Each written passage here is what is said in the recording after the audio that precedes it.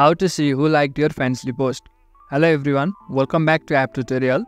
In this video, we will discuss if you can see who liked your post on Fansly. So let's start. First of all, go to fansly.com and then log into your account. After you have logged into your account, you'll come to the home screen like this. Now when someone likes your post on Fansly, you'll get a notification about that information.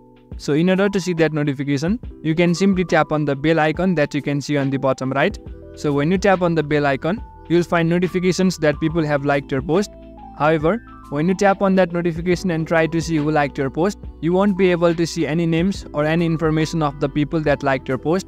That is because there is no such features on the platform that lets you see the profiles or the names of the fans that have liked your post.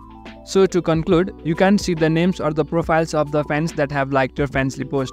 Thus, you can only see the notifications that people have liked your pictures or videos. However, there is no such option to see individual people or profiles that have liked your post. So that's it for the video. Make sure to subscribe to the channel for further similar videos and drop a like if you found this helpful.